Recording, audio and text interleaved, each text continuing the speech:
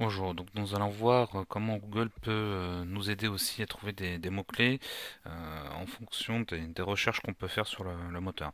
Donc si on reste toujours avec notre fleuriste à Reims, donc voilà, vous avez dans vos résultats de recherche, si vous regardez dans le pied de page, en général, voilà, vous avez les recherches associées à Fleuriste Reims. Donc ça, ce sont en général des, recherches qui ont été faites par des internautes.